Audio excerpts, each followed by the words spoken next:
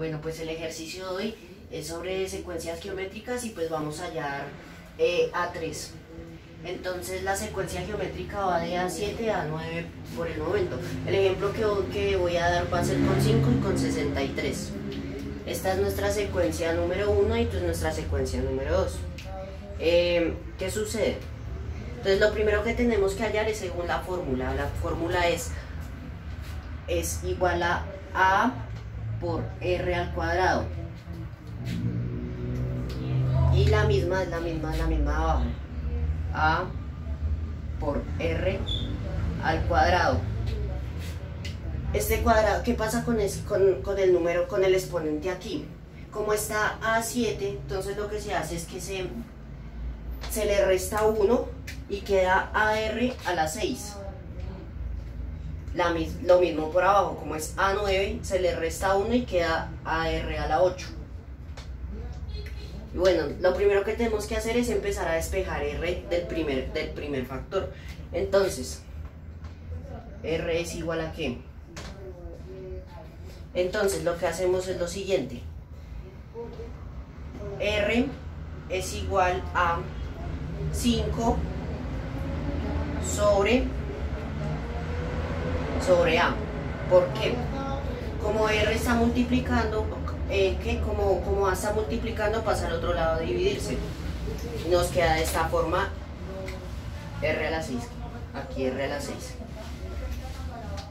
El segundo paso es ya coger la segunda secuencia. Entonces, ¿qué hacemos?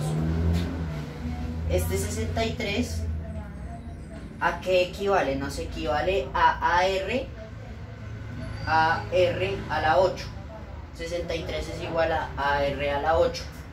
Entonces, esto nos es un igual a A, R a la 6. Bajamos este R a la 6 por R. Aquí se hace una jugada. ¿Cuál es la jugada? Como es 8, para, para lograr empatar esto se, se necesita buscar qué número sumado nos da 8. Entonces sería 6 más 2 es igual a 8.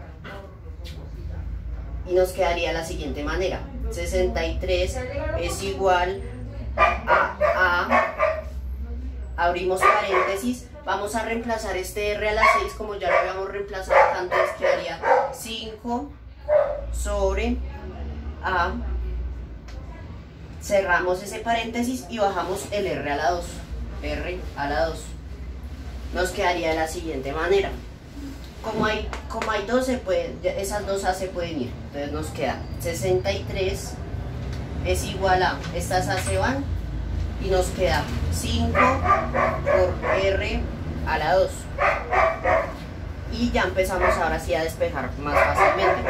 Nos quedaría 63 sobre, como el 5 está multiplicando, pasa a dividir, esto es igual a R al cuadrado.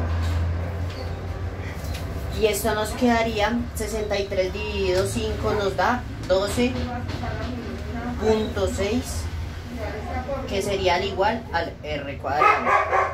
Para poder eliminar este r al cuadrado, esto nos queda en raíz de, de 12.6.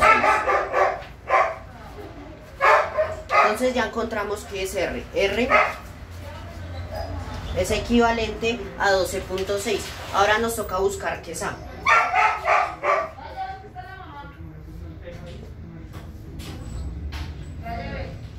Entonces, para buscar A, hacemos de la siguiente manera.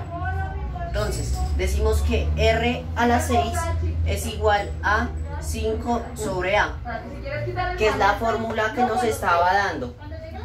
Eh, ¿Qué hacemos? Entonces empezamos a despejar esa A. Entonces el primer paso sería A, como está dividiendo, pasa al otro lado a multiplicar R a la 6, que es equivalente a 5 y seguimos despejando. A es igual a que, como esta R está multiplicando, pasa abajo a dividir R a la 6 sobre 5. Y por último paso, para poder eliminar ese R a la 6, lo que hacemos es la siguiente jugada. Entonces se abre en paréntesis, nos queda el 5 sobre raíz de 12.6 porque ¿de dónde sale esta raíz de 12.6? del R, como estamos despejando, como ya despejamos R, ya tenemos este factor. Entonces 12.6 del R elevado a la 6. Y eso nos da un igual a 0, es, eso nos da un igual a, a nos da un igual a 0,002. Este sería el factor A. Y ahora para saber qué es A3, hacemos la siguiente fórmula. A3 es igual a que la fórmula nos dice que es A por R al cuadrado. Y, la y nos queda, lo que allá lo que hacemos es reemplazar. Como A, allá dijimos que era 0.02, 0,002 por, abrimos paréntesis, raíz que es R, raíz de 12, de 12.6 al cuadrado. Como esto, raíz con al cuadrado se puede eliminar. Entonces nos quedaría un igual a 0,02 por 12.6 y este sería nuestro valor de A3 ya con eso finalizamos. Ya